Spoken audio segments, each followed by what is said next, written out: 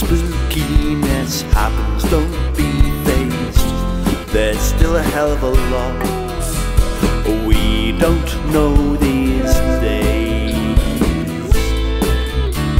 Like in the middle of the night, the TV switches on, or the doorbell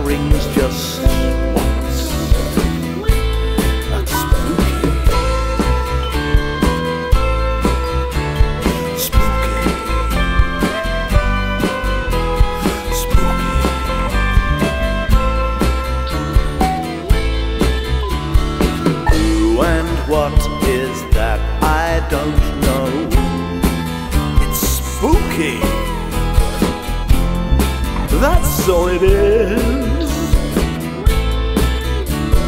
We'd like to think there's an explanation that we're in control. But just let that spookiness roll. Go with it.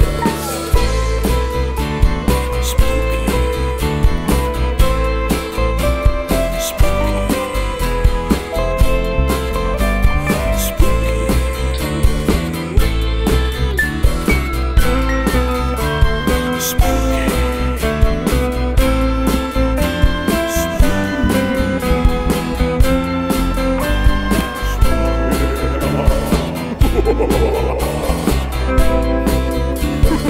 フ。